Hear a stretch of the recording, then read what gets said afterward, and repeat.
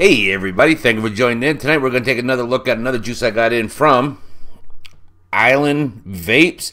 You can find Island Vapezz on Facebook and on Instagram. I'll leave his links down below. Soon to have his .com coming up, and when he does, I will update all videos that I have from him uh, down below. That I will have his .com when he does release that. This flavor we're going to take a look at today is called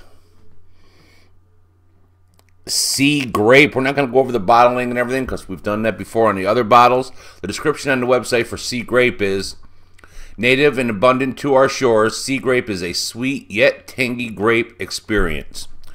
Well, when I got this one here and a lot of other grapes, you smell it and it smells so good, and you're like, "Oh, this this could be the one," you know.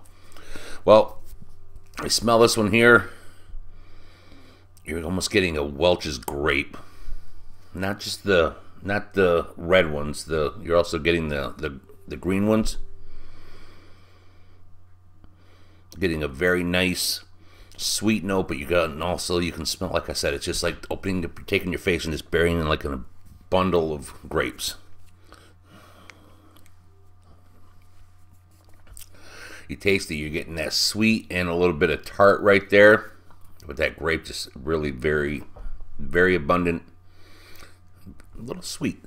We're going to throw this on here on my uh, Evic Primo by Joyetech with my AS Vape A9 RDA. We're going to run this here at 105 watts at 0.13 on the ohms.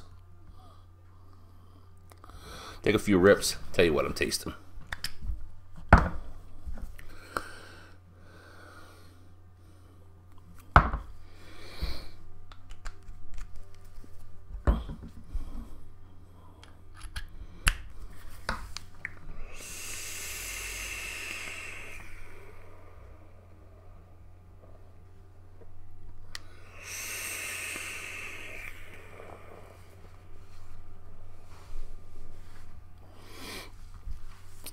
Coming in, you are getting that exactly just like it describes. A sweet, but yet not tangy. He puts it as tangy. I'm getting a little bit of a tart more than a tangy.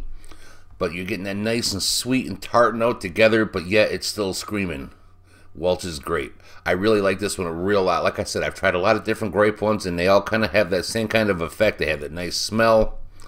You get kind of a little bit of a hint of it, and then it kind of flattens out. This one, even here, as I'm talking, I can still taste that grape and everything. Brent, you nailed this one here. Again, where I got this from is from Island Vapezz. I'll leave his Facebook and his Instagram down below. And again, like I said, as soon as he gets the .com up, I will update all videos. Soon to be. It's coming up. So that's going to do it for tonight. So until the next time.